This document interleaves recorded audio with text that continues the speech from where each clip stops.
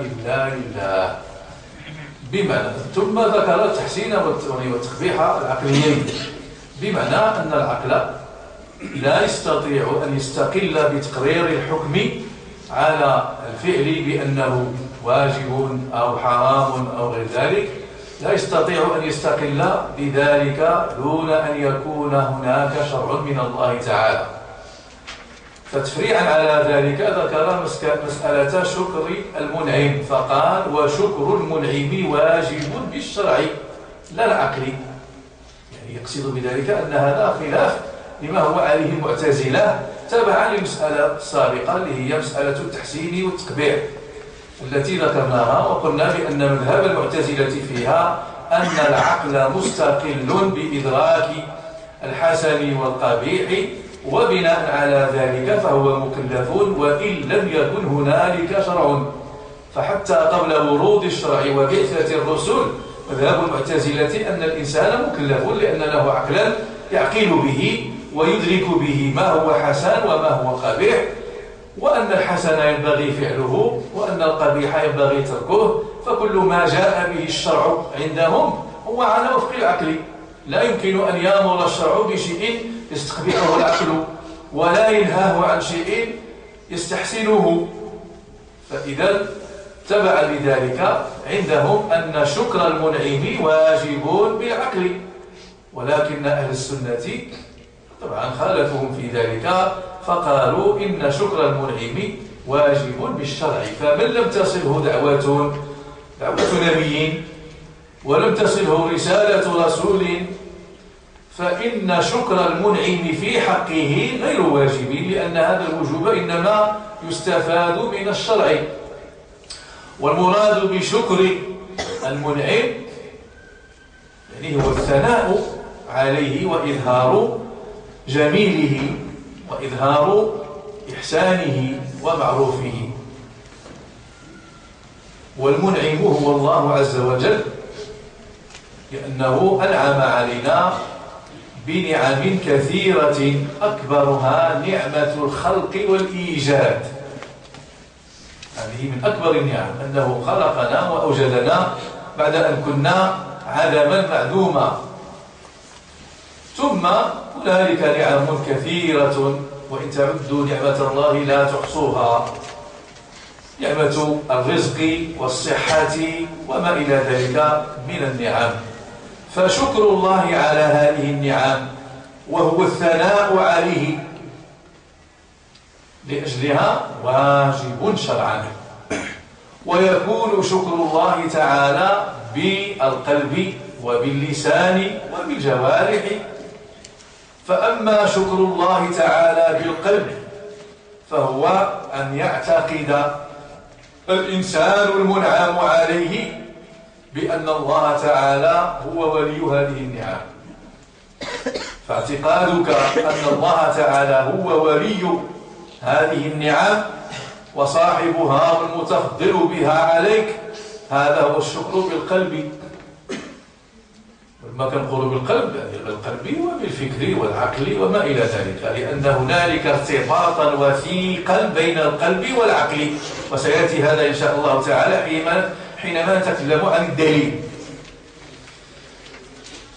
وشكر المنعم أيضا كما يكون بالقلب يكون باللسان وهو التحدث بهذه النعم المنعم بها على الإنسان.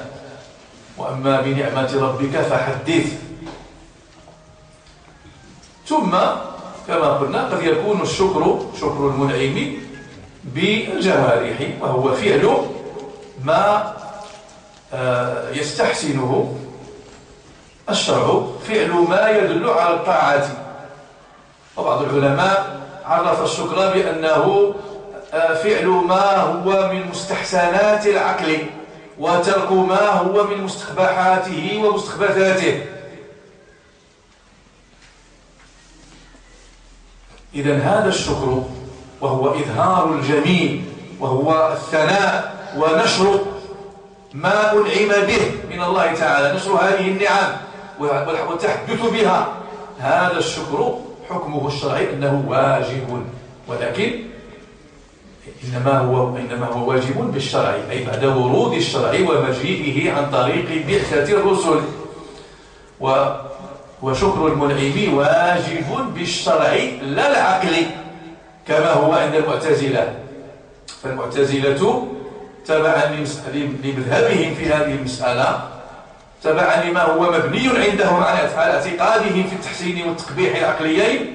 فإن شكر المنعم واجب عندهم بالعقل أيضا. حتى قبل مجيء الشرع فعلى الإنسان العاقل الذي له عقل أن يشكر الله تعالى على ما أنعم عليه به. وأن هذه النعم يستطيع العقل أن يدركها وأن يدرك أنه ممنون بها لله عز وجل فواجب عليه شكر المنعم أي الله تعالى حتى قبل مجيء الشرع. هذا مذهب المعتزلة على كل حال لأنه لأنه حكم العقل في كل هذه الأمور. وأما مذهب أهل السنة فإن شكر المنعم بما ذكرناه إنما هو واجب بالشرع أي بورود الشرع وبما جاء به رسل الله تعالى وأنبياؤه.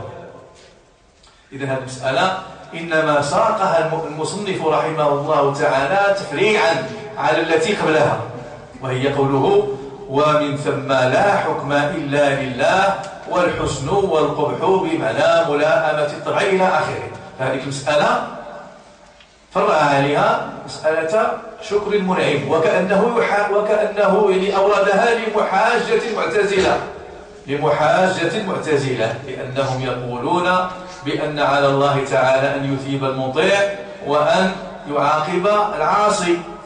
هذا مذهبهم وهذه من أصولهم. ويبني على ذلك. حينئذ أن شكر المنعم لو قلنا بأن الله تعالى عليه أن يثيب المطيع وأن يعاقب العاصي إذن سيكون حينئذ شكر المنعم عبثا. فجاء بهذا ليحاج يعني ليحاج المعتزلة. ثم قال رحمه الله تعالى ولا حكم قبل الشرع بل الأمر موقوف إلى وروده. هذا معلوم مما سبق. وإنما أعاده ليبني عليه مذهب المعتزلة على وجه التفصيل. ولا حكم قبل الشرع. أي لا يثبت حكم بوجوب أو تحريم أو ندب أو غير ذلك.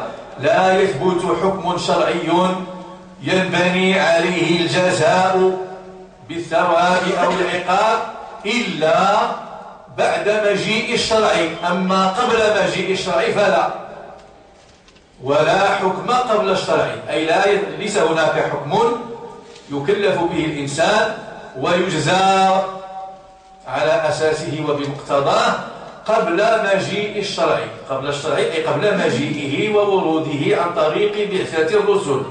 ولا حكم قبل الشرع. بل الأمر موقوف إلى وروده. الشأن في إثبات الأحكام وتقريرها أن هذه الأحكام إنما تقرر بعد مجيء الشرع وبعد مجيء الوحي من الله تعالى عن طريق الرسل والأنبياء. ولا حكم قبل الشرع أي قبل مجيئه وقبل وروده إلينا. بل الأمر موقوف إلى وروده. هذا تأكيد. هذا الكلام كله في الحقيقة مفهوم مما سبق. وإنما أعاده للتأكيد من جهة وليبني عليه معتقد المعتزلة بشيء من التفصيل من جهة ثانية وذلك قوله وحكمت المعتزلة العقل. إذن هذا كلام أراد أن يأتي به فمهد له بإعادة ما سبق. وقوله ولا حكم قبل الشرع بل الأمر موقوف إلى وروده هذا مفهوم مما سبق. مفهوم من الكلام السابق ولكن إنما أعاده بهذه الكيفية أولا لتأكيده وثانيا لبناء معتقد المعتزلة ولبناء مذهبهم بشيء من التفصيل على ذلك. قال عن المعتزلة وحكمت المعتزلة العقل. حكمت العقل وجعلته هو المستند في تثبيت وتقرير الأحكام. وحكمت المعتزلة العقل. وإثبات الأحكام. الأحكام التي نتحدث عنها هي الأحكام المعروفة الأحكام الخمسة اللي هي الواجب والمندوب والحرام والمكروه والمباح. هذه الأحكام نحن عندنا في مذهب أهل السنة لا تثبت إلا بالشرع. لا واجب إلا ما أوجبه الشرع ولا حرام إلا ما حرمه الشرع ولا إباح ولا مباح إلا ما أباحه الشرع وهكذا. ولكن المعتزلة قالوا إن هذه الأحكام إذا جاء بها الشرع فنعم ولكن إذا لم يأتي بها قبل أن يأتي بها الشرع فهي ثابتة بالعقل. ولكن كيف تثبت بالعقل؟ كيف يمكن للعقل أن يثبت في فعل أنه واجب وفي فعل أنه حرام وهكذا؟ قالوا إن الباب إلى ذلك هو ميزان الحسن والقبح. اللذين تحدثنا عنهما من قبل. فهذا هو الباب الذي يدخل منه إلى إثبات الأحكام. هو باب الحسن والقبح لأن الفعل إما أن يكون حسنا وإما أن يكون قبيحا وإما أن يتردد بينهما. إذا إما أن يكون حسنا وإما أن يكون قبيحا. فإن كان الفعل حسنا فإما أن يستوي في حسنه مع أو يستوي الفعل فعله مع تركه. الحسن من الأفعال إما أن يستوي فيه الفعل والترك. هذا عنده هو المباح. إذا رأى العقل أن الفعل لا فرق بين أن يوقع وبين أن يترك. إذا استوى الفعل والترك في الحسن فهو مباح. نحن نتحدث عن الحسن. وإذا ترجح الفعل فإذا استوى الفعل والترك فهو مباح. وإذا ترجح الفعل فلا يخلو. إما أن يترجح مع ترتيب العقاب أو الذنب مع ترتيب الذنب على الترك. فهذا هو الواجب. وإلا فمندوب يعني إذا لم يترتب الذنب على الترك فهو مندوب ثلاثة ديال الأحكام دخلوا في الحسن. ثلاثة أحكام دخلت في الفعل الحسن. الفعل الحسن أي الذي يستحسنه العقل إما أن يستوي فيه مع الترك يعني يستوي الفعل مع الترك. الحسن إذا استوى فعله مع تركه فهو عنده مباح. وإن ترجح الفعل فلا يخلو إما أن يكون هذا الترجيح مصحوبا بترتيب الذم على الترك. يعني هذا هو الواجب. لأن تركه يستوجب الذم. وإما أنه لا يستوجب هذا الذم فهو مندوب. فدخل في الحسن المباح والواجب والمندوب. عقلا. هذا كله من طريق العقل عندهم. وأما القبيح من الأفعال أي ما يستقبحه العقل من الأفعال فإنه إذا ترجح الترك فهو الحرام وإلا فهو المكروه. وبهذا يكون المعتزلة قد توصلوا إلى تقرير الأحكام الخمسة عن طريق العقل من باب الحسن والقبح. وهنالك باب آخر هو باب المصلحة والمفسدة لأن الفعل إما أن يتعلق بالمفسدات وإما أن يتعلق بالمصلحة. فإذا تعلق بالمفسدة ففعله ففعل هذه المفسدة حرام وتركها واجب. وإذا تعلق بمصلحة ففعلها مندوب وتركها مكروه.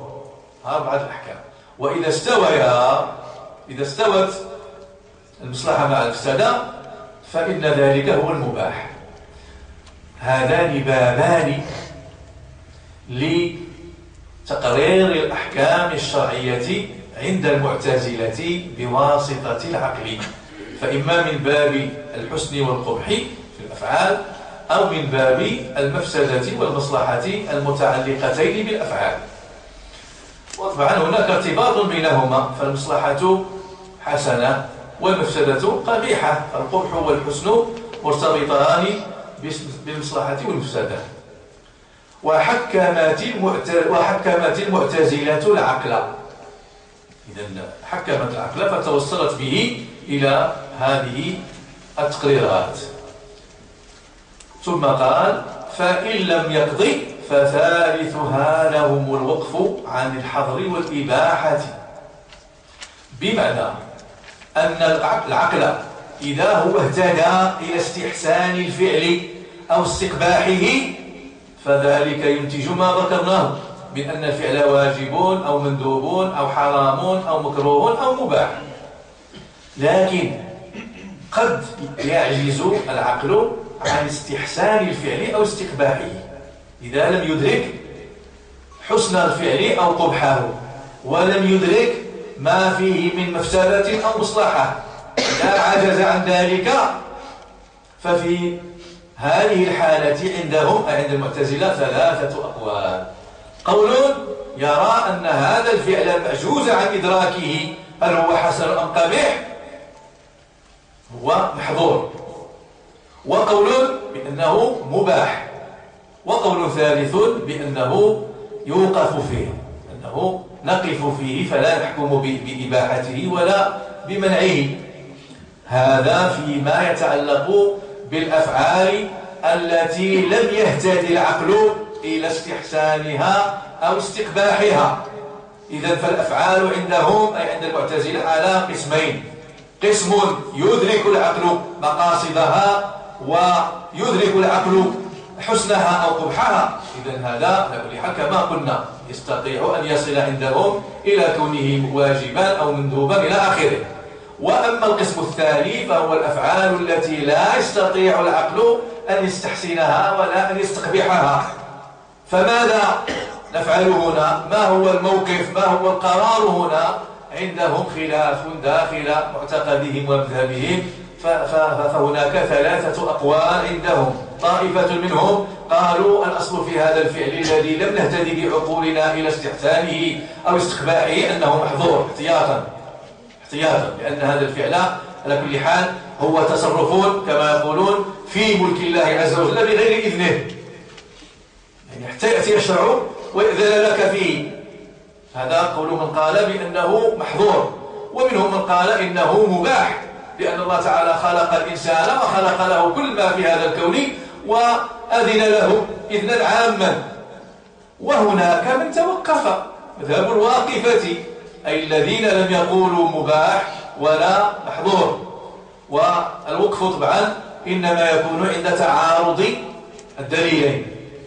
فهذه أقوال ثلاثة عند المعتزلة في القسم الثاني من الأفعال وهو القسم المتعلق بما لا يهتدي إليه العقل من هذه الأفعال بحيث لم يستطيع أن يصل إلى استحسانها أو استقباحها.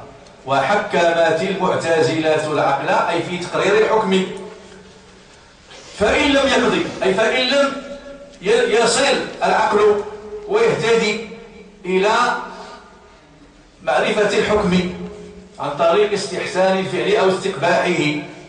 وعن طريق الوصول إلى ما تتعلق به من المصالح والمفاسد فإن لم يقضي فثالثها أي فثالث الأقوال عندهم الوقف عن الحظر والإباحة. هذا القول الثالث يشعر بطي قولين آخرين وهما إما القول بالحظر وإما القول بالإباحة. لأنه إذا كان القول الثالث هو التوقف عن أن نقول بأن هذا الفعل محظور ممنوع أو بأنه مباح. فإن القولين هما هذا هما القول بالحظر أو القول بالإباحة. فثالثها لهم أي المعتزلة الوقف عن الحظر والإباحة. ثم انتهى من هذه المسألة ودخل إلى مسألة أخرى. الحقيقة هذه المسائل التي ذكرناها الآن بدءا من قوله رحمه الله ولا حكم ومن ثم لا حكم إلا لله وكذلك قوله والحسن والقبح بمعنى ملاءمة الطبع إلى آخره وكذلك قوله وشكر المنعم وآجب بالشرع إلى العقل وقوله الآن في المسألة الأخيرة وحكمت المعتزلة العقل فإن لم يقضي فثالثها لهم الوقف عن الحظر والإباحة. هذه المسائل كلها مسائل تتعلق بعلم الكلام. مسائل كلامية. ولذلك فإن علم الأصول وما صنف فيه من المصنفات عند المتأخرين لأن ابن السكي رحمه الله يعتبر من المتأخرين. والفاصل ضابط بين المتقدمين والمتأخرين عند العلماء هو أن من جاء بعد المئة الرابعة يعتبر من المتأخرين من جاء بعد المئة الرابعة يعتبر من المتأخرين ومن كان في المئة الرابعة فما قبلها فيعتبر من المتقدمين يعني سواء أعظم العلماء يفرقون بهذا الضابط. فلذلك المتأخرون من العلماء الذين كانوا في عصر المتون والمصنفات والحواشي والشروح. علم الأصول هنا كغيره من العلوم الأخرى تأثر أيما تأثير بعلم الكلام وعلم المنطق. لذلك إذا أردت أن تفهم كتب هؤلاء المتأخرين لا بد أن تدرس هذين العلمين علم الكلام وعلم المنطق. لأن هذه الكتب وهذه المصنفات مليئة بمسائل علم الكلام ومليئة بمسائل المنطق ولهذا كانوا يدرسون هذه العلوم. كانوا يدرسون هذه العلوم. وما زالت تدرس إلى الآن. فالقرويين مثلا طيلة القرون التي كانت فيها عامرة بالحلقات العلمية كان من بين العلوم التي تدرس فيها علم الكلام وعلم المنطق. لأن فهم هذه الكتب لا سبيل إليه إلا عن طريق أخذ زاد وحظ كاف في هذين العلمين. فلذلك تجدون علم الأصول في هذا المصنف في الجوامع وفي غيره من كتب المتأخرين مليئة بالمنطق وبعلم الكلام. قلت إذا هذه المسائل التي تكلمنا عليها الآن كلها هي من صميم علم الكلام. ولكن كما تعرفون علم الأصول كما قرر العلماء هو مستمد من ثلاثة أصول منها أصول الدين علم الكلام. لأن في الحقيقة هذا العلم هذا علم أصول الدين ويسمى علم الكلام وعلم العقيدة. هو علم يبحث في ذات الله عز وجل وصفاته وفي النبوة وما يتعلق بها وفي الأمور المغيبة التي ينبغي اعتقاد آه، ما هو موافق للشرع فيها. وهذا العلم حينما تأسس ونشأ كان سبب نشأته الأولى هو إثبات وجود الله عز وجل وإثبات غير, غير هذه الصفة من صفات الله تعالى عن طريق العقل تعضيضا لدليل النقل هذا هو السبب الأول. بحيث كان العلماء علماء الإسلام يواجهون بمكايد وطعون في الدين وفي معتقدات الدين. كان الزنادقة يلحدون في الدين ويبثون أفكارهم المناهضة للدين. فانبرى لهم العلماء وألفوا هذا العلم ليجيبوا هؤلاء الملاحدة وهؤلاء العقلانيين ليجيبوهم فيما كانوا يعرضونه من آه، شكوك وطعون في وجود الله عز وجل وفي, وفي صفاته العلى وأسمائه الحسنى. فانبر هؤلاء العلماء لإثبات هذه الصفات وهذه الأسماء وما يتعلق بها من من الغيبيات بإثباتها بالعقل كما هي ثابتة بالنقل لأنها لأن أولئك ما كانوا يؤمنون بالنقل. وما كانوا يعترفون به بل كانوا يطعنون في القرآن. فلذلك انبر لهم العلماء يثبتون معتقدات الدين بالحجج العقلية الساطعة. فنشأ هذا العلم لهذه الغاية ولكن بعد آه تداول هذا العلم ومباحث هذا العلم وتطوره وتشعبه عدل به عن هذه النشأة وعن هذه الغاية إلى الحديث في مسائل أخرى وفي خلافات بين المذاهب الإسلامية حينما نشأت. فلذلك تطور إلى أمور كان المسلمون في غنى عنها وقامت خلافات كلامية ما كان أحوجهم إلى الإمساك عنها. فإذا هذه المسائل مسائل عقدية ومسائل كلامية ولكن علم الأصول مستمد من أصول الدين ومن اللغة العربية ومن الفقه. هذه الأصول الثلاثة التي منها استمد علم الأصول. بعد هذه المسائل الكلامية العقدية انتقل رحمه الله تعالى إلى مسائل أخرى هي من صميم علم الأصول. قال رحمه الله تعالى والصواب امتناع تكليف الغافل والملجأ. إذا يتحدث هنا عن مبحث التكليف وأن التكليف مشروط بالعلم والقدرة. فمن كان غير عالم فلا تكليف عليه ومن كان عاجزا غير قادر فكذلك. لا تكليف عليه لأن التكليف منوط بالعقل وكذلك بالقدرة. لا بد منهما. ولذلك فإن الغافل أي الذي لا يدري الذي انتفى عنه العلم كالساهي والناسي والسكران والمجنون هؤلاء كلهم انتفى عنهم العلم ولكن كل واحد منهم على قدر وهم متفاوتون. فانتفاء العلم والفهم عنهم هو في حال أمر مشترك بينهم ولكنهم متفاوتون في ذلك. فالساهي انتفاء العلم عنه إنما هو مؤقت. وكذلك الناس والنائم هؤلاء كلهم العلم منتف عنهم ولكن إلى حين. أما المجنون فإن العلم منتف عنه نهائيا ولا سيما إذا كان مجنونا بجنون مطبق يعني لا يفق فهؤلاء الذين يعتبر كل منهم غافلا يعني شاردا غير عالم لا تكليف عليه. هذا مذهب كثير. لا تكليف عليه يعني هو غير مكلف. الغافل غير مكلف. فلا يؤاخذ على أفعاله.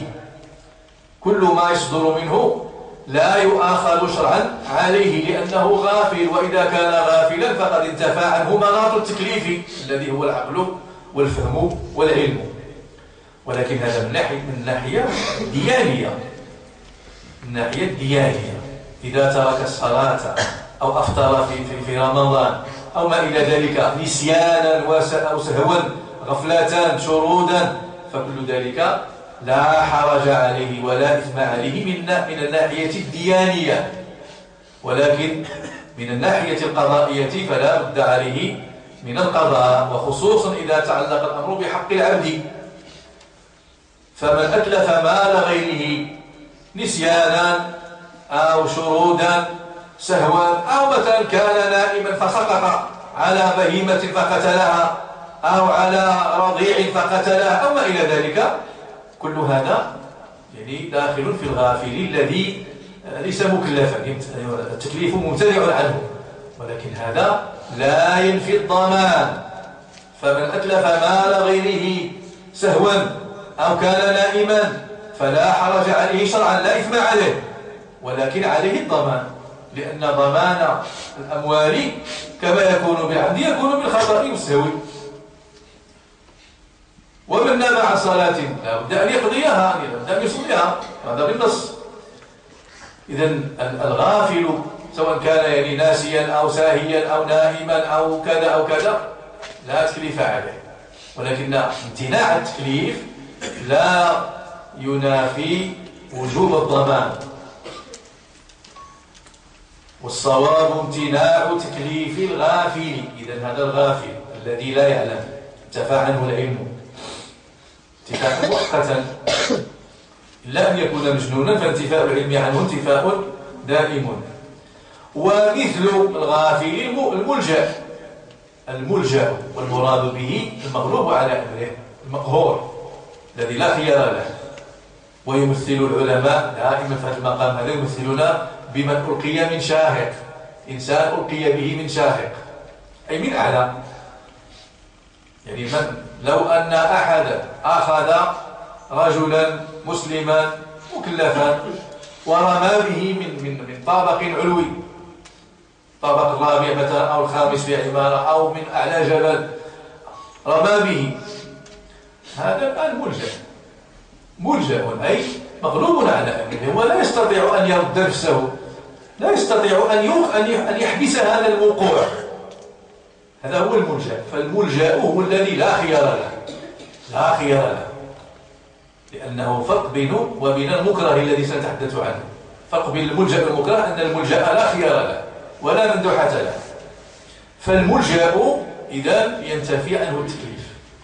ينتفي عنه التكليف. ولكن التكليف في شقه الدياني أي المتعلق بحق الله تعالى.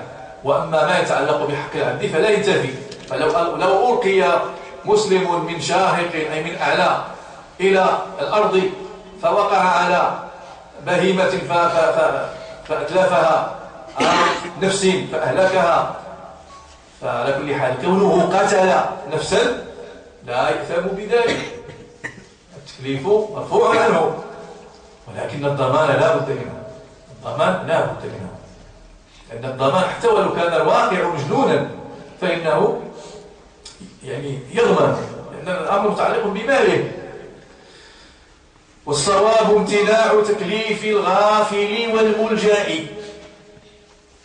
وقوله الصواب كلمة تشعر بالخلاف أي بأن هذه مسألة فيها خلاف ولكن قول من قال بأن الغافل والملجأ مكلفون قوله ضعيف لا يلتفت إليه. حتى إنه اعتبره خطأ غلطا. لأنه قال الصواب ما قالش الصحيح أو الراجح أو الأصح أو الأرجح أو المعتمد لا قالوا الصواب فكأن القول الآخر المقابل لهذا لا يلتفت إليه.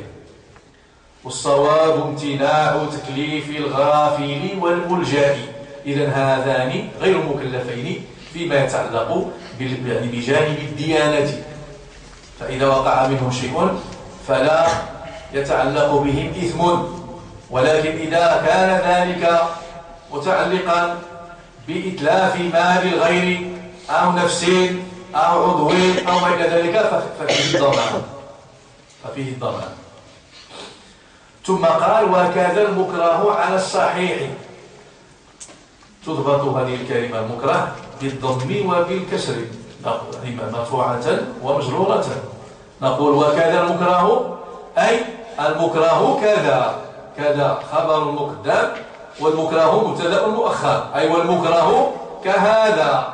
أي كامتناع تكليف الغافل والملجأ فيكون حينئذ المعنى أن المكره يمتنع فيه التكليف كما امتنع في الغافل والملجأ. ويضبط بالجر. وكذا المكره والتقدير حينئذ والصواب امتناع تكليف الغافل والملجأ وامتناع تكليف المكره. قد يكون على على حذف آه، مضاف. وكذا المكره أو المكره على الصحيح وهذه الكلمة تشعر بالخلاف. قوله على الصحيح تشعر بالخلاف في كون المكره ساقطا عنه التكليف بمعنى أن فيها قولين. القول الأول أنه يسقط عنه التكليف كما هو الشأن في الغافل والملجأ. والقول الثاني لا يسقط عنه. والحقيقة أن إثم القاتل المكره مجمع عليه. ليس لأحد أن ينازع فيه. من أكره على قتل نفس المسلمة من أكره على قتل مسلم فلا يجوز له ذلك بحال. فإن قتله كان آثما. وكونه آثما هذا مجمع عليه. وقد حكى الإجماع كثير من العلماء. إذا لا نزاع في كونه آثما أبدا. ولما قال المصنف رحمه الله وهو شافعي قال وكذا المكره أو المكره على الصحيح ولو على القتل. وتضطر إلى أن يلتمس لنفسه مخرجا من هذا الإجماع. الإجماع منعقد على أن من أكره على قتل غيره على قتل مسلم غيره فهو آثم بالإجماع فلذلك قال وإثم القاتل لإيثاره نفسه. وإثم القاتل لإيثاره نفسه. بمعنى أن من أكره على قتل مسلمين فإن التكليف يمتنع عنه ليس بمكلف. ليس بمكلف. ولكن لو فعل وقتل فإنه يأثم لإيثاره نفسه على أخيه. بمعنى أنه حينما قتل كان مختارا ولم يكن مكرها لأنه اختار أن يقتل غيره ولم يختر أن يتعرض هو للقتل وإذا فهو آثم لإيثاره نفسه واختياره أن يقتل الآخر. النتيجة واحدة.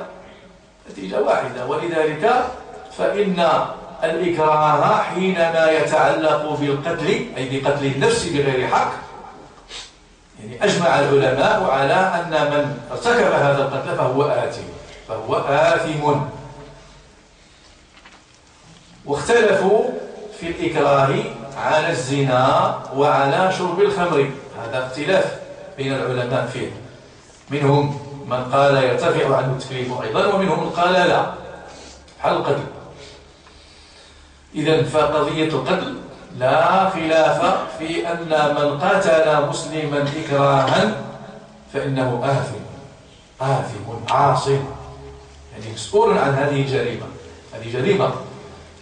لأنك على كل حال إذا هددت إذا قيل لك إما أن تقتل هذا المسلم وإما أن تقتل. إذا يجب أن تحتسب أن تحتسب هذا البلاء في سبيل الله. وليس لك أن تفدي نفسك بأخيك لأن نفسك ونفسه سواء. المسلمون تتكافأ دماؤهم وأموالهم ويسعى بذمتهم أدناهم. فكونك تستجيب لهذا الإكراه وتقتل أخاك تحت تغطية هذا التهديد. وهذا الإكراه فأنت آثم بالإجماع. بالإجماع. حتى ولو كان هذا المهدد على كل حال يعني يهددك لأن التهديد قد يكون بالقتل وقد يكون بغيره. فإحنا كنتكلموا عما إذا كان التهديد بالقتل.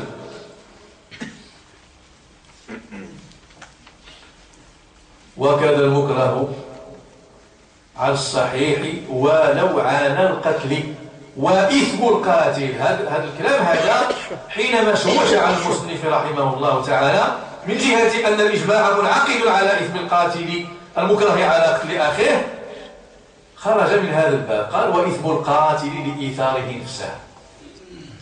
يعني حينما قتل لأن المكره المكره على كل حال ليس كالملجأ إحنا قلنا بأن الملجأ هو المغلوب على أمره الذي لا خيار له. أما المكره فهو عنده خيار لكنه ضيق جدا. عنده مندوحة لكنها ضيقة. وهي أنه إما أن يفعل ما أكره عليه فينجو أو لا يفعل فيهلك. فهو بين أمرين هو عنده خيار لكن أحلاهما مر.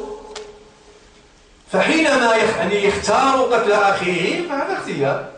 فهو بكل حال مسؤول عن, عن, عن فعله وعن جريمة القتل لأنه فعلها باختياره. وإثم القاتل لإيثاره نفسه. هذا إثم يعني ضبط في بعض النسخ هكذا بالمصدر. وإثم القاتل وحينئذ يكون هذا اللفظ مبتدا وخبره آه، مقدر بأنه حاصل وإثم القاتل حاصل لإيثاره نفسه لأن الجار المجرور قام مقام الخبر. وإذا كان الخبر جارا ومجرورا أو ظرفا فإن فإنه يقدر أي الخبر بكائن المستقر كما قال ابن مالك وأخبروا بظرف أو بحرف جر ناوين معنى كائن أو استقر إذا تقدير الكلام وإثم القاتل حاصل أو كائن أو مستقر لإيثاره نفسه. وضبط في بعض النسخ بالفعل. قال وأثم القاتل. وأثم القاتل لإيثاره نفسه. وهذا أبلغ وأوضح وأثم القاتل أي تحقق إثمه لإيثاره نفسه وتقديمه على غيره وافتداء نفسه بآخره. وهذا لا يجوز. هذا لا يجوز. وكذا المكره أو المكره على الصحيح ولو على القتل وإثم القاتل لإيثاره نفسه. ثم قال رحمه الله تعالى ويتعلق الأمر بالمعدوم تعلقا معنويا. هذه مسألة في الحقيقة نظرية محضة. لا يتعلق بها عمل. فهذه من المسائل التي آه، يعني ينبغي أن ننقح علم الأصول من, من أمثالها. كاين بعض المسائل هي موغلة في الجانب النظري. ولذلك كما قلت في البداية بداية الحصص آه، إن علم الأصول ينبغي ونحن ندرسه ونبحث فيه ونصنف فيه.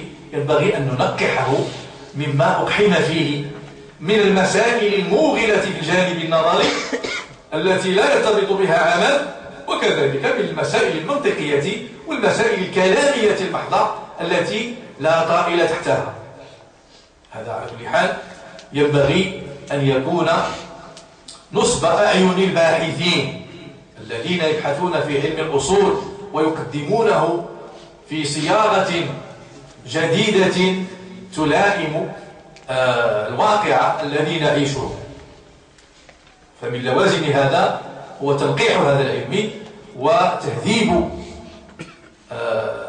ما في مباحثه من هذه الأمور المقحمة.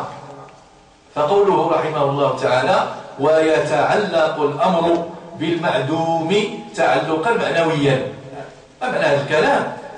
يعني أن الشخص المكلف يتعلق به الأمر أي والنهي لأن الأمر على كل حال دائما يكون مقرونا بالنهي فالتكليف أمر ونهي. التكليف أمر ونهي. فقوله ويتعلق الأمر أي والنهي لأنهما لا يفترقان. ويستغنى عن أحدهما بالآخر كما يستغنى عن التبشيري بالإنذار. إذا ذكر الإنذار فهو يقتضي أيضا مقابلا هذا فقط للاختصار وإلا فالأصل أن يقول ويتعلق الأمر والنهي وهما عنصر التكليف. فالمقصود أن المكلف قبل أن يكون موجودا يتعلق به الأمر والنهي حتى قبل وجوده. ولكن هذا التعلق إنما هو تعلق معنوي لا تنجيزي. بمعنى أن الإنسان قبل أن يكون موجودا الإنسان وهو ما زال في في صلب أبيه أو إلى آخره لا مانع أن يتعلق به التكليف أن يتعلق به الأمر والنهي. ولكن هذا التعلق قبل وجوده وقبل أن يكون بالغا عاقلا وبلغته الدعوة.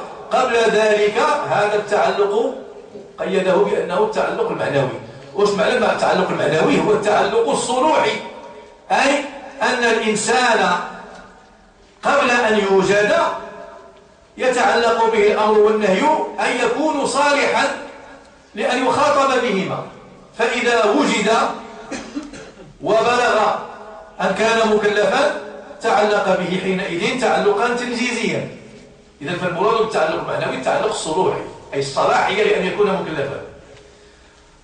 وهذا أمر مقرر بحال بقوله تعالى وإذا أخذ ربك من بني آدم من ظهورهم ذرياتهم وأشهدهم على أنفسهم ألست بربكم؟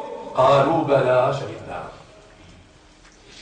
إذن هذا هو التعلق المعنوي لأن الله تعالى أخذ من كل واحد هذا العهد وهو العهد الفطري لأن العهد عهدان عهد الفطري وهو الذي ذكرته الآية.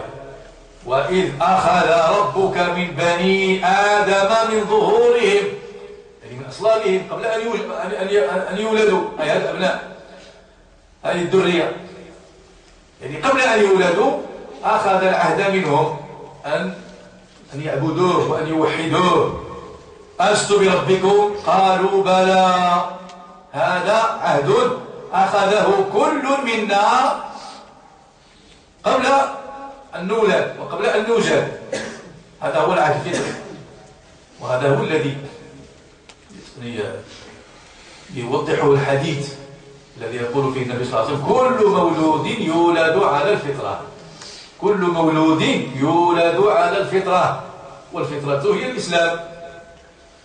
فهذا هو العهد الفطري ويتجدد هذا العهد بعد البلوغ والتكليف وبلوغ الدعوة. حينما يصير الإنسان مكلفا أي مسلما بالغا عاقلا وتصيره الدعوة فإن هذا العهد يتجدد يتجدد على يد الرسول صلى الله عليه وسلم.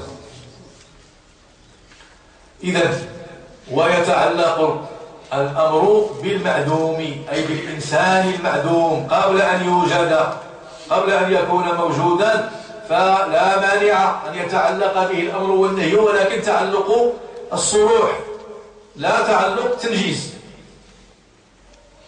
بمعنى أن هذا التعلق معناه أن الإنسان قبل وجوده يكون صالحا لتعلق الأمر والنهي به. هذا المقصود. فإذا وجد فعلا هذا هو التعلق التنجيزي أو التعلق الفعلي. الأول كنسميه تعلق صلوحي أي التعلق بالقوة. ولكن التعلق الثاني اللي هو بعد وجود الإنسان وصيرورته مكلفا وبلوغ الدعوة إليه هذا هو التعلق التنجيزي تعلق بالفعل. فهي مسألة على كل حال يعني آه، ليست من صميم آه، علم الأصول أي ليست من مسألة عملية. ويتعلق الأمر بالمعدوم تعلقا معنويا. خلافا للمعتزلة. المعتزلة نفوا هذا التعلق لأن الأمر يتعلق بمسألة أخرى سوف نتحدث عنها في محلها وهي إثبات الكلام النفسي لله تعالى. فبناء على إثبات الكلام النفسي لله تعالى يعني يتفرع على هذه المسألة أن الأمر والنهي يتعلقان بالمكلف قبل وجوده. ونفي هذه المسألة يفضي إلى نفي تعلق الأمر والنهي بالمعدوم. فالمعتزلة ينفون هذا التعلق أي التعلق معنوي وإنما يثبتون التعلق تنجيزي أي بعد وجود المكلف ثم قال رحمه الله تعالى فإن اقتضى الخطاب الفعل جازما فإيجاب أو غير جازم فندب أو الترك جازما فتحريم أو غير جازم بنهي مخصوص فكراهة أو بغير مخصوص فخلاف الأولى أو التخييرات وإن ورد سببا وشرطا ومانعا وصحيحا وفاسدا فوضع إلى آخر كلامه. الآن دخلنا إلى مسألة أخرى. في غير الأهمية ومن صميم علم الأصول. وهي داخلة في مبحث الأحكام. قال فإن اقتضى الخطاب وقد تحدث لك عن الخطاب حينما عرف لك الحكم عند الأصوليين. حينما قال لك والحكم خطاب الله تعالى المتعلق بفعل المكلف حيث إنه مكلف. إذا رجع الآن إلى هذا فقال فإن اقتضى الخطاب. فلا بد أن ترجع إلى تلك المسألة اللي هي تعريف الحكم عند الأصوليين الحكم الشرعي. فقد عرفه بأنه خطاب الله تعالى وقلنا بأن المراد بخطاب الله أي مدلول الخطاب. هذا الخطاب هذا الذي يراد به مدلوله أي ما يدل عليه لا داله. إن اقتضى هذا الخطاب الفعل جازما فإيجاب لأن هذا الخطاب إما أن يقتضي طلب الفعل وإما أن يقتضي طلب الترك وإما أن يستوي طلب الفعل والترك أو أن, أن يخير أن يخير الخطاب بين الفعل والترك إذا عندنا صفة عامة ثلاثة أقسام. القسم الأول أن يقتضي الخطاب طلب الفعل. القسم الثاني أن يقتضي الخطاب طلب الترك القسم الثالث أن يخير الخطاب بين الفعل والترك. لم يطلب الفعل ولم يطلب الترك وإنما خير. وإنما خير. ولذلك سيأتي إن شاء الله أنهم اعترضوا على المصنف في قوله أو التخيير. لأنه قال فإن اقتضى الخطاب الفعل جازما إلى آخره احتقل أو التخيير. قال لك سيدي كان ينبغي أن يقول أو خير. عطفا على فإن اقتضى. فإن اقتضى الخطاب كذا وكذا أو خير. هذا هو الأصوب في هذا السياق. ولكن المصنف عبر بالمصدر لا بالفعل. قال أو التخيير وسيأتي أن التخيير اللي هو الإباحة ليس اقتضاء. ليس اقتضاء. الخطاب لما كيدل على الإباحة فليس ذلك من قبيل الاقتضاء. وإنما الاقتضاء يتعلق بطلب الفعل أو طلب الترك أما التخيير فليس اقتضاء هذه نصل إليها. وإنما نبهت إليها خشية أن لا نصل في هذه القصة قلنا إذا الخطاب خطاب الله تعالى إما أن يقتضي طلب الفعل وإما أن يقتضي طلب الترك. واقتضاء الخطاب طلب الفعل على مرتبتين. إما أن يقتضيه على وجه الإلزام والجزم. فهذا هو واجب وإما أن يقتضيه لا على سبيل الإلزام والجزم فهذا هو المندوب. خطاب الله تعالى إما أن يقتضي طلب الفعل إما أن يقول لك افعل وإما أن يقتضي طلب الترك. اترك لا تفعل. القسم الأول فيه مرتبتان لأن طلب الفعل أن يكون جازما أي متحتما ملزما. ما فيش خيار. ما فيش يعني تسهيل. بمعنى أن طلب الفعل مؤكد بحيث إذا لم تفعل عوقبت هذا معنى جازما. هذا هو الواجب. لأن الواجب هو ما يثاب فاعله ويعاقب تاركه. فإن طلب الشرع منك الفعل ولكن لم يجزم فهذا هو المندوب. هذا هو المندوب. هذا طلب الفعل. وأما طلب الترك فإما أن يكون جازما فهو الحرام أو غير جازم بنهي غير بنهي مخصوص فهو المكروه أو بنهي غير مخصوص فهو خلاف الأولى طيب نبدأ بالواجب. الواجب هو طلب الفعل طلبا جازما إذا طلب الشرع عن طريق خطابه خطاب الله تعالى إذا دل الخطاب على طلب الفعل على وجه الجزم واللزوم فهذا هو الواجب. هذا هو الواجب. إذا يمكننا الآن نقول لأن الواجب هو ما طالب الشرع فعله على جهة اللزوم والجزم. وأيضا يعرف بأنه ما يثاب فاعله ويعاقب تاركه. وهذا من فضل الله علينا في الشق الأولي يعني فضل كبير من الله تعالى علينا وهو أننا نفعل ما هو واجب. أوجب علينا الصلاة. ومع كونها واجبة علينا فإننا إذا فعلناها أثابنا عليها. وهكذا سائر الواجبات. كل ما هو واجب عليك ومفروض عليك فإنك إن التزمت وامتثلت وأطعت بفعله فإنك مأجور مثاب. هذا فضل من الله تعالى أن يثيبك حتى على ما هو واجب. إذا فالواجب هو ما يثاب فاعله ويعاقب تاركه لأن, لأن تاركه هذا على كل حال متهاون. متهاون ومعرض عن طلب الشرع. والواجب له تقسيمات. أذكرها باختصار. فالتقسيم الأول هو من جهة النظر إلى فاعله الذي يقوم بفعل الواجب. من هذه الناحية إما أن يجب على كل مكلف بعينه فهذا هو الواجب العيني أو يجب على المكلفين وأنه إذا قام بعضهم به قياما تحصل به الكفاية سقط الطلب عن الباقين هذا هو الواجب الكفائي. فالواجب إذا في تقسيمه الأول وهو التقسيم المنظور فيه إلى الفاعل. ينقسم من هذه الجهة إلى قسمين إلى واجب عيني وإلى واجب كفائي. فأما الواجب العيني فهو الذي يجب على المكلف بعينه أن يفعله ولا يمكن أن يفعله عنه غيره. كالصلاة مثلا.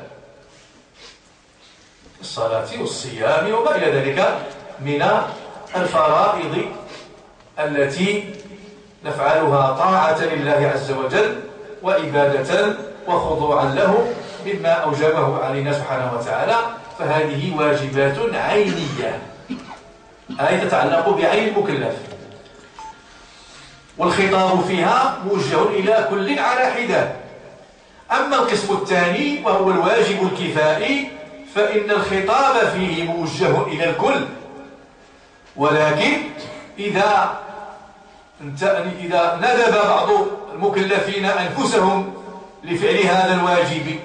وكان الفعل بحيث حصلت به الكفاية فإن الفائلين مجهولون ومثابون والباقي يسقط عنهم الطلب. يسقط عنهم الطلب. لأن أي أمر من أوامر الله تعالى يتضمن الوجود فإنه يتعلق بمصلحة. ما من أمر أمر الله به وما من شيء أوجب الله علينا فعله إلا وفيه مصلحة. مصلحة لا لا نحن لا لا لا, لا هو عز وجل هو غني عنا هو غني عنا لا تنفعه طاعتنا ولا تضره معصيتنا. من المستفيد؟ هو المكلف. فالواجبات والمفروضات التي فرضها الله تعالى, تعالى علينا وأمرنا بها كلها منوطة بمصالح. هذه المصالح منها ما هو شخصي عيني. الصلاة مثلا هي أو مصلحتها هي عينية تتعلق بالشخص.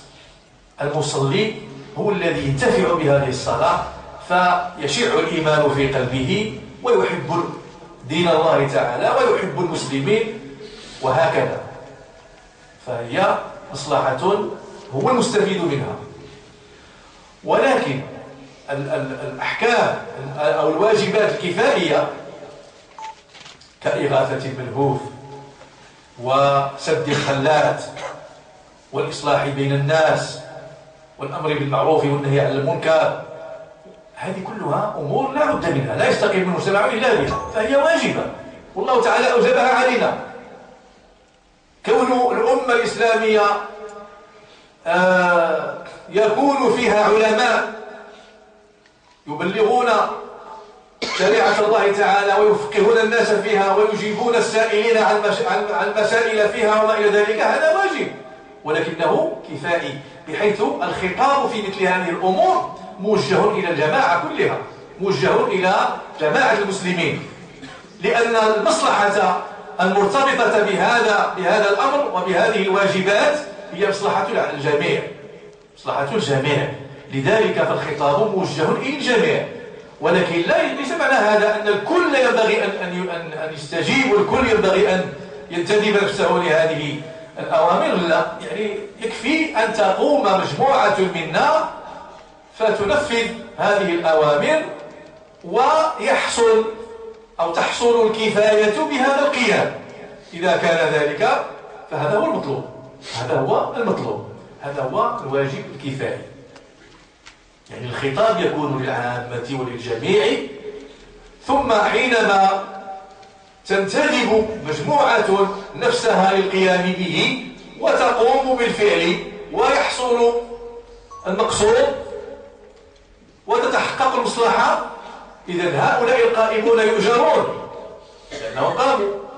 والباقون الذين لم يقوموا لا حرج عليهم.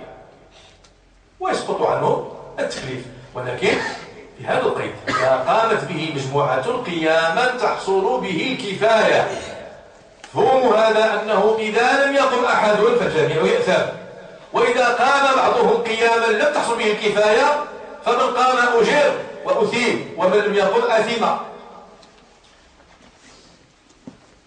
قد تقول لي مثلا بعض هذه الواجبات الكفائية كيف يعني يعني يكون الخطاب فيها للجميع؟ مثلا آه وجود العلماء. ما علاقة هذا بالناس اللي هم عامة التجار والحرفيين وكذا الذين لا علاقة لهم بالعلم ولا علاقة لهم ب يعني هذه التخصصات الشرعية وكذا ما علاقتهم بهذا؟ فالجواب عن ذلك أنهم وإن لم تكن لهم علاقة بهذا عندهم عندهم علاقة بناحية أخرى وهو التمكين بما عندهم. ليس لابد أن يكون عندك علم ولكن أن تمكن لمن عنده علم أن تمكن بمالك وأن تمكن بعلاقاتك وبجهودك وبما لك مما آتاك الله تعالى. قضية متشابكة. إذا هذا التقسيم الأول وهو أن الواجب منه ما هو عيني ومنه ما هو كفائي. ثم التقسيم الثاني من حيث المقدار. الواجب إذا نظرنا إليه من جهة مقداره وكمه فإنه ينقسم إلى قسمين واجب مقدر وواجب غير مقدر. هناك واجب أوجبه الله تعالى على المكلفين وقدر لهم مقاديرهم. حد الصلاة مثلا؟ فالصلاة واجبة. وكما أنها من قبيل الواجب العيني هي أيضا من قبيل الواجب المقدر لأنها بمقادير معروفة شرعا. مقادير ركعاتها وسجداتها وإلى آخره كل ذلك مقدر. ومثل ذلك الصيام. وكذلك فيما يتعلق بحقوق العباد. الديون واجب مقدر. عليك ألف درهم فيجب أن تعطيها ألف درهم. إذا هذا واجب مقدر. وهناك أمور أوجبها الله تعالى علينا ولم يقدر ترك لنا نحن التقدير حسب وسعنا وحسب جهادنا. أو مجاهدتنا للنفس. مثلا الأمر بالمعروف والنهي عن المنكر. واجب واجب على الكفائي ولكن لم يقدر لنا الشرع قدرا محددا. يعني باشر هذا الواجب حسب استطاعتك. حسب استطاعتك. وهكذا. إذا فالواجب من هذه الناحية حيث المقدار والكم ينقسم إلى واجب مقدر وإلى واجب غير مقدر وهناك تقسيم ثالث وهو من جهة التعيين وعدمه الشرع قد يوجب علينا شيئا ويعينه. وقد يوجب علينا شيئا غير تعيين بمعنى أنه يخيرنا في أمور ولكن لا بد أن نفعل واحدا منها. فالأول يسمى الواجب المعين. الواجب المعين. أوجب علينا الصلاة وعين. أوجب علينا الصيام وعين. يعني عين في الصلاة المكتوبات إلى آخره وفي الصيام عين الشهر الذي يجب أن يصام وهكذا. هذا كتسمى واجب معين. وعندنا الواجب المخير وهو الذي خيرنا الشرع في خصاله. نفعل منها واحدة كأن يخيرنا في ثلاث خصال مثلا. كالكفارة. الكفارة سواء كانت عن اليمين أو عن الظهار أو عن الوقاع في في نهار رمضان عمدا أو الكفارة في قتل قتل خطأ. الكفارة في هذه المقامات كلها المكلف مخير بين العتق وبين الإطعام وبين الإكساء. عاد فإن لم يستطيع ينتقل إلى الصيام. في كفارة اليمين مثلا هذا هو في كفارة فكفارته إطعام عشرة مساكين بنشط ما تطعمون أهليكم أو كسوتهم أو تحرير رقبة. هذه خصال ثلاث إن لم يستطع ينتقل إلى الصيام وفي المقامات الأخرى أيضا تخير بين هذه الخصال وإن كان بعضها في ترتيب آخر. ككفارة الوقاع في نهار رمضان في حديث الأعرابي الذي قال هلكت يا رسول الله؟ قال ما أهلكك؟ قال وقعت امرأتي في, في, في, في, في نهار رمضان. إلى آخر الحديث وهو حديث صحيح فقد أوجب عليه النبي صلى الله عليه وسلم أن يعتق رقبة. أن يعتق رقبة. فإن لم يجد فأن يصوم شهرين وإلا فأن يطعم ستين مسكينا. إذا هذا يسميه الفقهاء بالواجب أو الأصوليون والفقهاء بالواجب المخير. بالواجب المخير وسوف يتحدث عنه استقلالا المصنف رحمه الله تعالى. الأمر بواحد من أشياء الأمر بواحد من أشياء يوجب واحدا لا بعينه. سيأتي هذا في, مسألة مستقلة. إذا الواجب من هذه الناحية ينقسم إلى واجب معين وإلى واجب واجب مخير. ثم التقسيم الرابع هو أنه من جهة الوقت. من جهة الوقت الذي يجب أن يوقع فيه هذا الواجب ينقسم إلى قسمين إلى واجب مؤقت وإلى واجب مطلق. الواجب المؤقت هو الذي حدد الشرع له وقتا وأن المكلف يجب عليه أن يوقعه أي الواجب في ذلك الوقت.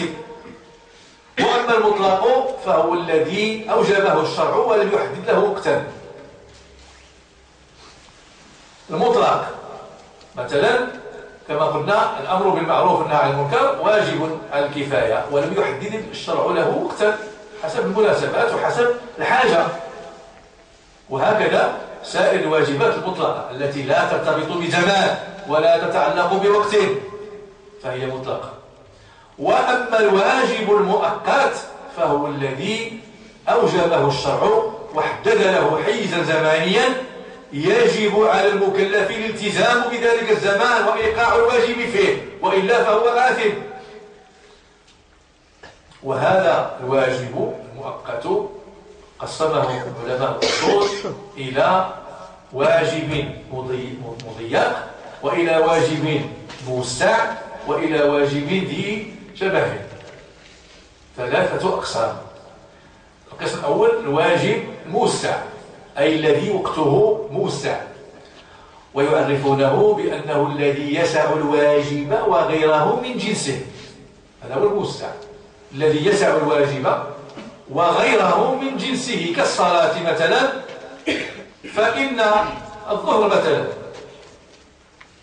الوقت الذي حدده الشرع للظهر يسع الواجب أي صلاة الظهر ويسع غيره من جنسه. أي يسع أن يصلي المكلف ركعات يتطوع بها ويتنفل بها إضافة إلى الظهر. كل ذلك يسعه الوقت. بحيث إذا أذن المؤذن للظهر ودخل وقتها فإن هذا الوقت المخصص لها من بدايته إلى نهايته ومجيء صلاة العصر. هذا الوقت كله يسع صلاة الظهر ويبقى معك الوقت الذي يمكن أن تصلي فيه صلوات أخرى نافلتان من غير الظهر.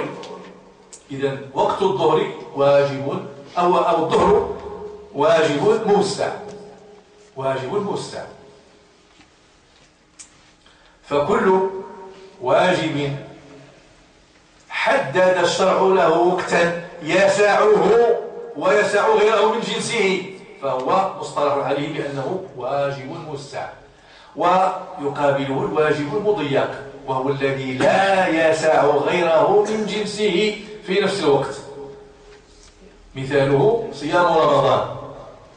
هذا واجب مؤقت ولكنه واجب مؤقت مضيق لأنه لا يسع غيره من جنسه. فلا يمكن للمكلف أن يصوم داخل رمضان أياما على سبيل التطوع لا يمكن أن يتنفل المكلف بصيام داخل رمضان. فلما كان ذلك لا يمكن فإن هذا الواجب وهو صيام رمضان واجب مؤقت مضيق. مضيق. لا يسع غيره من جنسه. إذا الصلوات من قبيل الواجب المؤقت الموسع والصيام من قبيل الواجب المؤقت المضيق. فالمضيق لا اصطلاح. فقط المقصود بها هو أن الواجب لا يسع غيره من جنسه في نفس وقته. ثم القسم الثالث هو الجامع بينهما وهو المسمى بذي الشبهين. ذي الوجهين يعني أنه من ناحية موسع ومن ناحية أخرى مضيق ويمثلون له بالحج. فالحج موسع من جهة أن المكلف يستطيع داخل وقت الحج داخل أشهر الحج أن يتنفل بالعمر وبالطواف. هذه كلها من بإمكانه أن يتنفل بها. أن يتطوع بعمرتين أو ثلاث عمر أو كذا وأن يتطوع بطواف فوق الفريضة وفوق المطلوب منه في مناسك الحج. فمن هذه الناحية واجب مؤقت موسع. ولكن من جهة أنه لا يمكن أن يأتي فيه إلا بفريضة واحدة ولا يقف إلا وقفة واحدة هذه الناحية هو مضيق. لا يمكنك أن تحج في العام الواحد في, في نفس الحجة حجتين. لا يمكن أن تؤدي حجتين في عام واحد. لماذا؟ لأن بعض المناسك لا يمكن أن تؤديها إلا مرة واحدة وهي الوقوف. الوقوف بعرفة له زمان محدد. لا يمكن أن تقف مرتين. فإذا هذه هذا الواجب وهذه الفريضة لها الوجهان معا. موسعة من جهة ومضيقة من جهة أخرى. هذا هو الواجب وهو أول الأحكام الذي تحدث عنه رحمه الله. قال فإن اقتضى الخطاب الفعل جازما فإيجاب. والواجب كما هو معروف عند علماء الأصول يدل عليه ويفهم ويستنبط. إما عن طريق التنصيص على مادته. الواجب يدل عليه بمادته. والمقصود بمادته مادة وجب أو ما يرادفها. ما قلت مثلا وجب عليكم كذا أوجب الله عليكم كذا هذا هو الواجب المفهوم من مادته. أو مما يرادف الوجوب كالقضاء والحكم. والكتاب. وهكذا والفرض وقضى ربك ألا تعبدوا إلا إياه. قضاء حكم. الوجوب سورة أنزلناها وفرضناها. فرضناها. وهكذا. إذا إذا وجدنا هكذا وجدنا مثلا قضاء. حكم أوجب فرض كتب. كل هذه مادة الوجوب فهي تدل على الوجوب فإن لم يكن عندنا مادة الوجوب فنفهم الواجب عن طريق الأمر به عن طريق الأمر به. إذا أمر الشرع بشيء أمرا مجردا فإن ذلك يدل على الوجوب يدل على الوجوب ولذلك من القواعد الأصولية أن الأمر المجرد يقتضي الوجوب معنى المجرد أي مجرد عن القرائن لم يعني يحتف بقرينة تصرفه عن الوجوب إلى ما سواه. لأن ما سوى الوجوب هو الندب أو الإباحة. لأن الأمر شركة بين الوجوب والندب والإباحة. يعني قد يدل على الوجوب وقد يدل على الإباحة أو على الندب. فالأمر من حيث دلالته على الندب. لابد من قرينة. أو على الإباحة لابد من قرينة إذا عريت النصوص الشرعية عن هذه القرائن الأوامر الإلهية عن هذه القرائن إذا ورد الأمر بالشيء وهو مجرد عن القرينة التي تصرفه عن الوجوب فيبقى محمول على الوجوب هذا هو الأصل. الأصل في الأمر أنه محمول على الوجوب إلا إذا احتفت به قرينة تصرفه عن الوجوب إلى ما سواه. إذا الباب الثاني الذي ندخل منه لفهم الوجوب من النصوص هو الأمر. والأمر إما أن يكون بفعل الأمر بفعل الأمر أقيموا الصلاة بفعل الأمر. لأن الأمر له صيغ أولها فعل الأمر وثانيها المضارع المقرون بلام الأمر وليطوفوا بالبيت العتيق لام الأمر. أو المصدر النائب عن عن فعل الأمر. فضرب الرقاب اضربوا. فضرب الرقاب. وإما آه، اسم فعل الأمر. اسم فعل الأمر. ما كنقولوا حي على الصلاة. حي هذا اسم فعل أمر بمعنى أقبل هذه الصيغ الأربع هي التي تستعمل في الأمر فقد يعني يؤتى بالأمر على صيغة فعل الأمر أو المضارع المقرون بلام الأمر. أو المصدر النائب عن فعل الأمر أو اسم فعل الأمر ثم هناك باب ثالث لفهم الواجب وهو ترتيب العقاب على الترك. إذا وجدت الشرع قد رتب العقاب على ترك فعل فاعلم أن ذلك الفعل واجب. كقول الله عز وجل يا أيها الذين آمنوا إذا لقيتم الذين كفروا زحفا فلا تولوهم الأدبار ومن يولهم يومئذ دبره إلا متحرفا لقتال أو متحيزا إلى فئة فقد باء بغضب من الله ومأواه جهنم وبئس المصير. هذه كلها يعني, آه، عقابات. فترتيب هذا العقاب الشديد على ترك الإقبال على العدو. يدل على أن الإقبال وعدم التولي واجب. بمعنى أن الإقبال ومواجهة العدو واجب. وأن الإدبار أو الفرار حرام. ولكن قيد الفقهاء ذلك بما إذا كان المسلمون على الأقل نصف العدو. إذا كانوا نصف العدو. وهذا أمر مقرر في القرآن الكريم. فقد كان في الأول يجب على المسلمين أن يثبتوا لقتال العدو حتى ولو كانوا عشره. ثم نزل التخفيف إلى النصف. الآن خفف الله عنكم وعلم أن فيكم ضعفا. فإن, كان فإن تكن منكم مئة صابرة يغلبوا مئتين. وإن يكن منكم ألف يغلبوا ألفين بإذن الله. معنى هذا صمت الفقهاء من هذه الآية أن المسلمين إذا داهمهم العدو وكان بينهم قتال فكانوا نصفه أو أكثر يجب عليهم الثبوت. وعدم الفرار.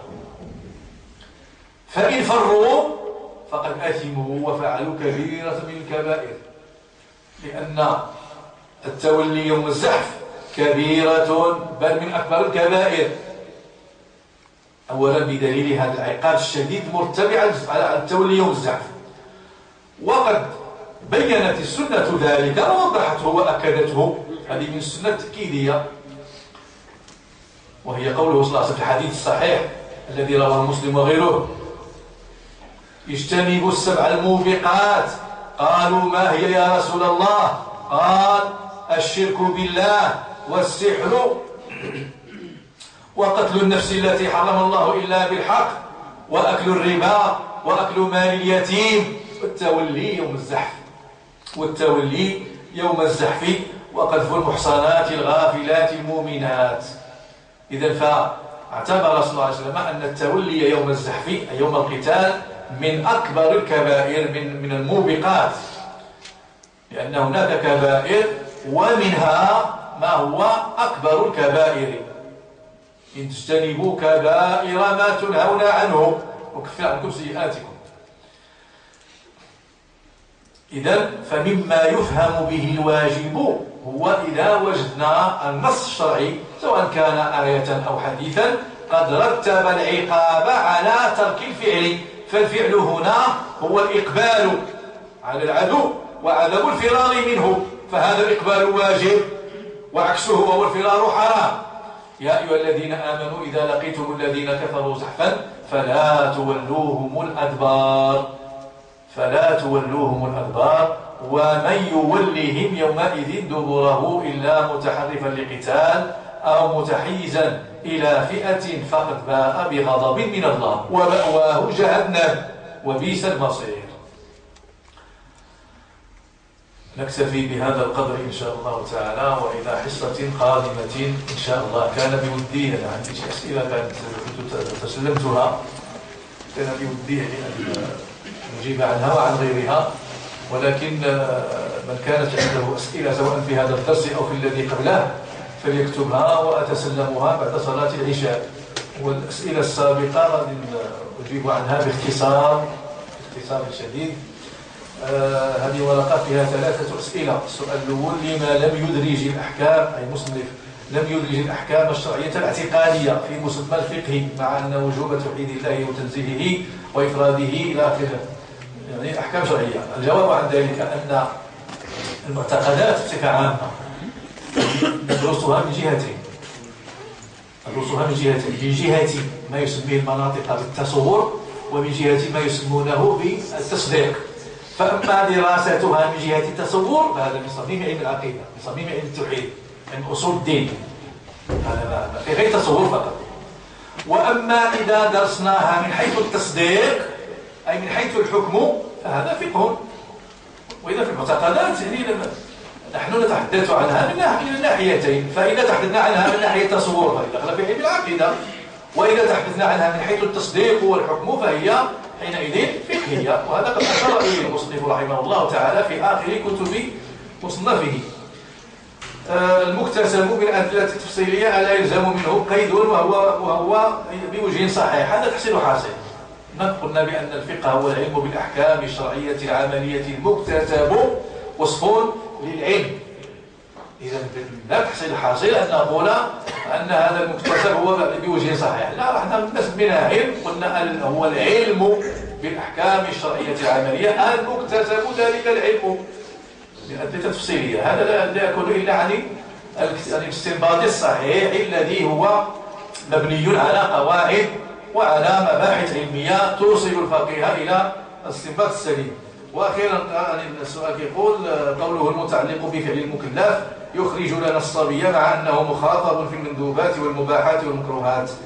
فما توجهكم لكلام المصنف؟ لا هو في الحقيقة الصبي رغم أنه مخاطب غير مكلف ليس بمكلفين وسيأتي الحديث بالتفصيل عن هذا عن مضمن هذا السؤال عندما نصل إلى بعض المسائل التي في أول هذه المقدمات هل المندوب يدخل في باب التكليف أو لا يدخل؟ وهل المباح يدخل في باب التكليف أو لا يدخل؟ لأن الواجب والحرام داخلين على كل حال بدون آه بدون النزاع. ولكن الفقهاء أو العلماء اختلفوا في المندوب والمباح. هل يدخلان أو لا يدخلان في التكليف؟ بمعنى أن المخاطبة بفعل المندوب هل هو تكليف؟ قيل نعم وقيل لا. وكذلك في المباح. هذا كله سنتحدث عنه بالتفصيل ولكن في جميع الحالات الصبي وهو غير البالغ طبعا لما كنقول الصبي هكذا بالاطلاق نقصد الذي هو مميز. أما غير المميز فلا يدخل معنا بحال وإنما يدخل معنا الصبي المميز أي الذي يعقل القربة يعقل القربة. يفهم معنى التقرب إلى الله تعالى. فهذا الصغير وهذا الصبي المميز. على كل حال هو غير مكلف.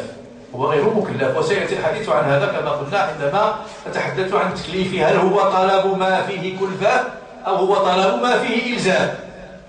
بصفة عامة ومؤقتة بحال هو أن الصبي غير مكلفين وإذا فعل شيئا هو واجب علينا فيعتبر في حقه مندوبا وقربة وسوف نزيد في تفصيل هذا إذا وصلنا إلى محله في المصنف إن شاء الله تعالى. أقول قولي هذا وأستغفر الله لي ولكم الحمد لله رب العالمين.